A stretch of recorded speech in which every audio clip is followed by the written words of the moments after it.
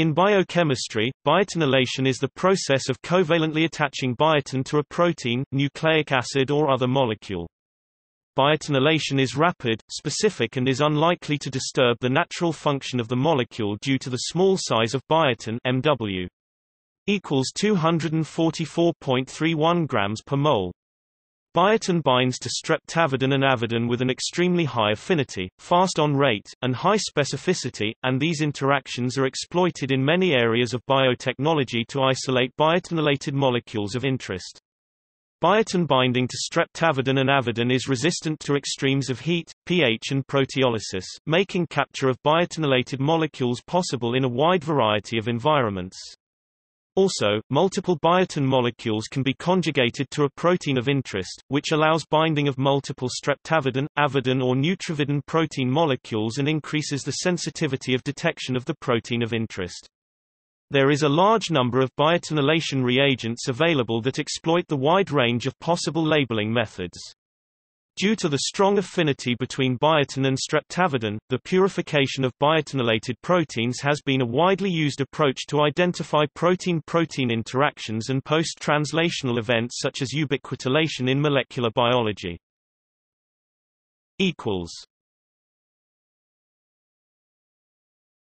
Topic: Labeling methods.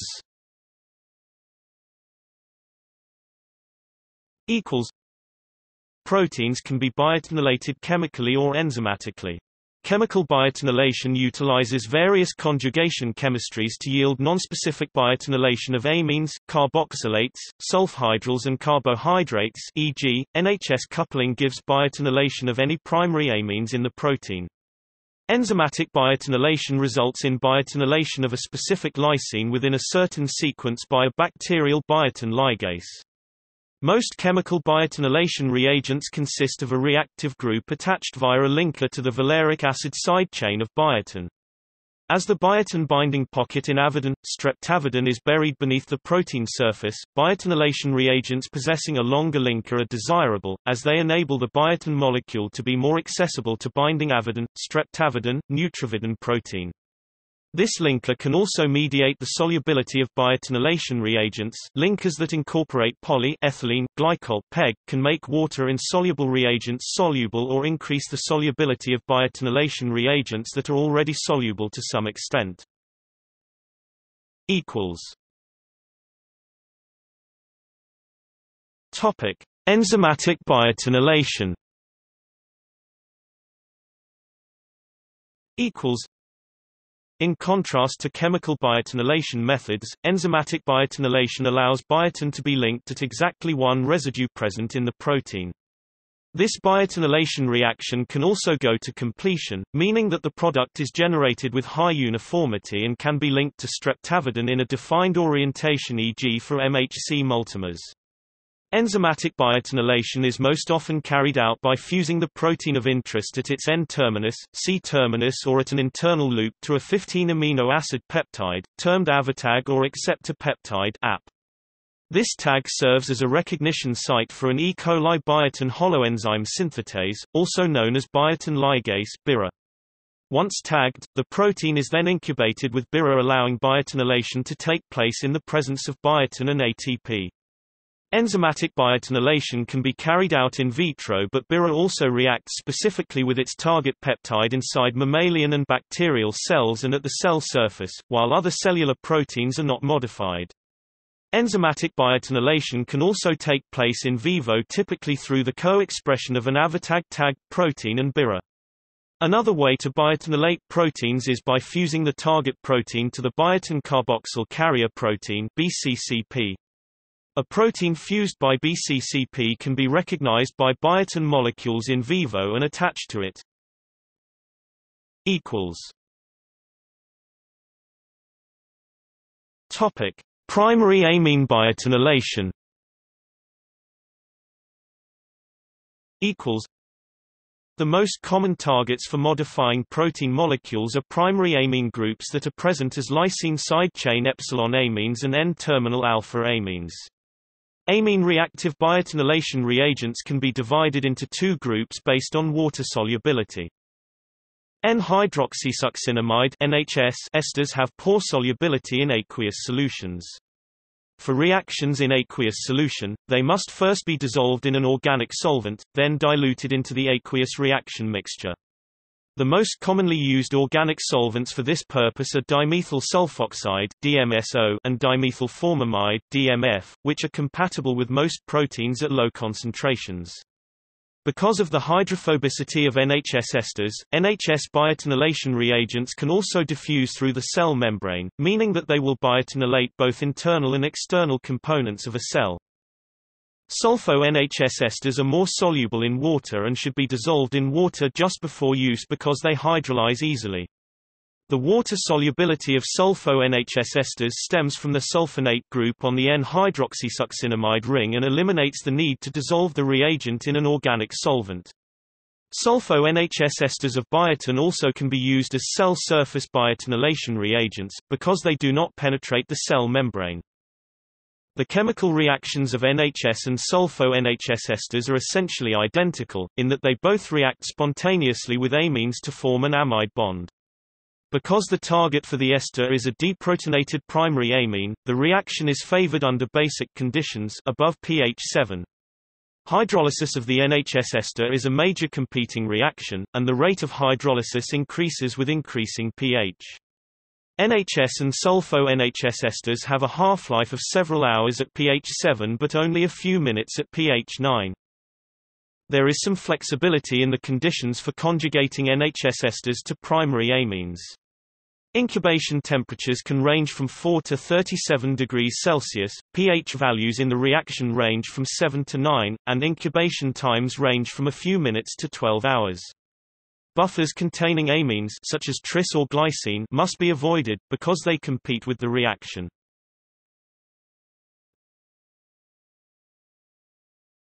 Topic. Sulfhydryl biotinylation An alternative to primary amine biotinylation is to label sulfhydryl groups with biotin. Because free sulfhydryl groups are less prevalent on most proteins compared to primary amines, sulfhydryl biotinylation is useful when primary amines are located in the regulatory domains of the target protein or when a reduced level of biotinylation is required. Sulfhydryl reactive groups such as maleimides, haloacetyls and pyridyl disulfides, require free sulfhydryl groups for conjugation. Disulfide bonds must first be reduced to free up the sulfhydryl groups for biotinylation. If no free sulfhydryl groups are available, lysines can be modified with various thiolation reagents Traut's reagent, SAT, PEG4, SATA and SATP, resulting in the addition of a free sulfhydryl. Sulfhydryl biotinylation is performed at a slightly lower pH 6.5 to 7.5 than labeling with NHS esters. Besides whole proteins, biotinylated peptides can be synthesized by introducing a cysteine residue during synthesis at the terminus of the amino acid chain to get a site-specific and oriented biotinylation. Nucleotides can also be biotinylated by incorporation of biotinylated nucleotides.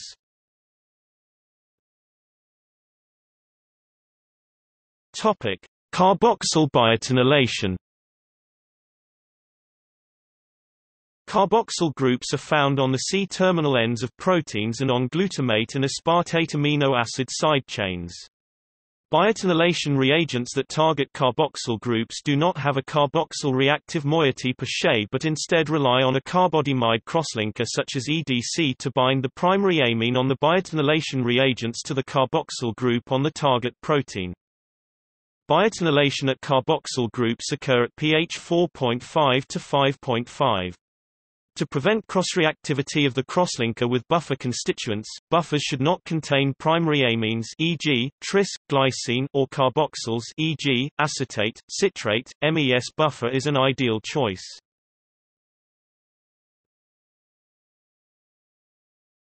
Topic: Glycoprotein biotinylation Glycoproteins can be biotinylated by modifying the carbohydrate residues to aldehydes, which then react with hydrazine or alkoxyamine-based biotinylation reagents. Sodium periodate oxidizes the sialic acids on glycoproteins to aldehydes to form these stable linkages at pH 4 to 6. Polyclonal antibodies are heavily glycosylated, and because glycosylation does not interfere with the antibody activity, biotinylating the glycosyl groups is an ideal strategy to generate biotinylated antibodies.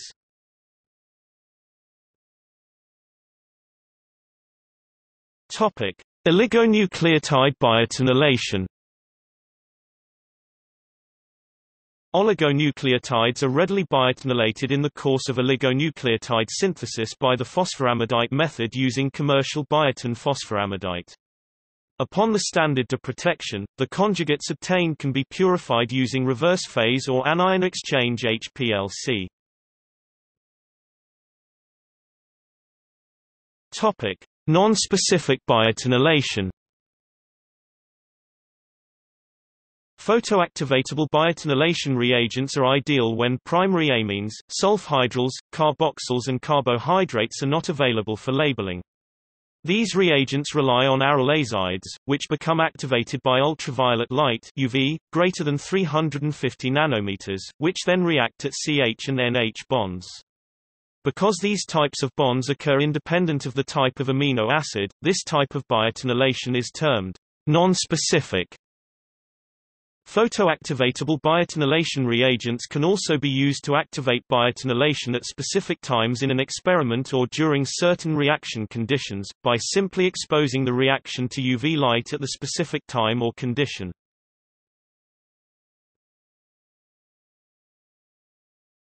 Topic. Purpose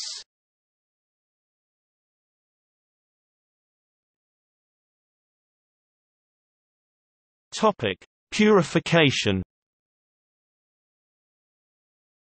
The biotin tag can be used in affinity chromatography together with a column that has avidin or streptavidin or NeutrAvidin bound to it, which is the natural ligand for biotin. However, harsh conditions e.g., 6-MgUHCl at pH 1.5 are needed to break the avidin-streptavidin, biotin interaction, which will most likely denature the protein carrying the biotin tag. If isolation of the tagged protein is needed, it is better to tag the protein with aminobiotin. This biotin analog gives strong binding to avidin, streptavidin at alkaline pH, but the affinity is reduced upon lowering the pH. Therefore, an aminobiotin-tagged functional protein can be released from an avidin, streptavidin column by decreasing the pH to around pH 4.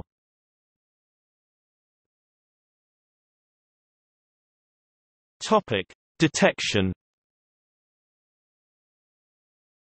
This tag can also be used in detection of the protein via antibiotin antibodies or avidin, streptavidin tag detection strategies such as enzyme reporters e.g., horseradish peroxidase, alkaline phosphatase or fluorescent probes. This can be useful in localization by fluorescent or electron microscopy, ELISA assays, ELISPOT assays, Western blots and other immunoanalytical methods. Detection with monovalent streptavidin can avoid clustering or aggregation of the biotinylated target.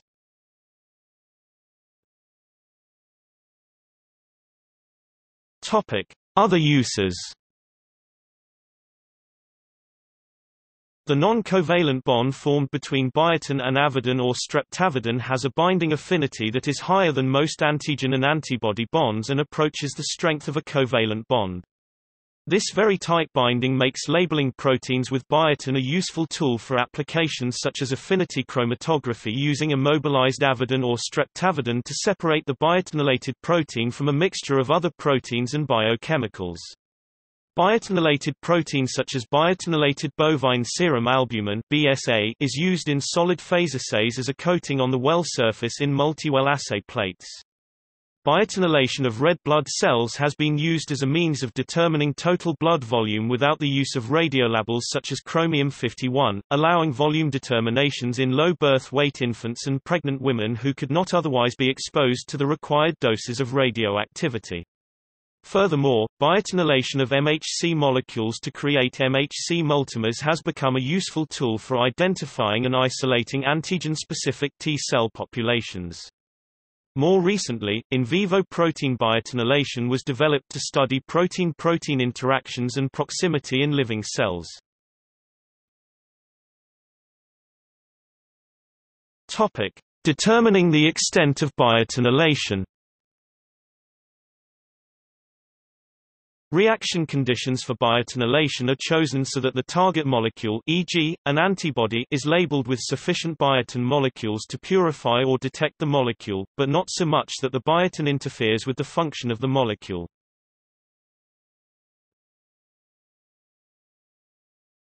Topic: HABA assay The HABA 2,4-hydroxyazobenzene benzoic acid assay can be used to determine the extent of biotinylation. HABA dye is bound to avidin or streptavidin and yields a characteristic absorbance. When biotinylated proteins or other molecules are introduced, the biotin displaces the dye, resulting in a change in absorbance at 500 nanometers. This change is directly proportional to the level of biotin in the sample. The disadvantage of the HABA assay is that it uses large amounts of sample.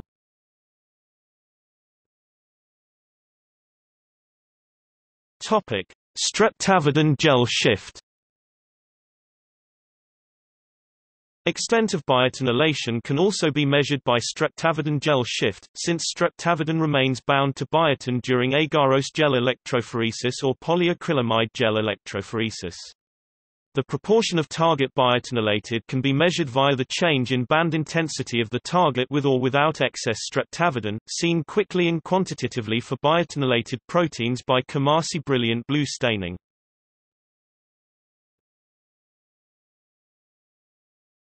Topic. Further reading Hermanson, G.T. Bioconjugate techniques. Academic Press ISBN 0-12-342336-8 Overview of biotinylation, includes additional information and figures of reactive groups, biotin and linker regions. Gao, Wenqing, Wu, Zengru, Bohl, KCE, Yang, Jun, Miller, Duane D., Dalton, James T. 2005. Characterization of the in vitro metabolism of selective androgen receptor modulator using human, rat, and dog liver enzyme preparations. Drug Metabolism and Disposition. 34 243-53. DOI 10.1124, DMD.105.007112. PMC 2039882. PMID 16272404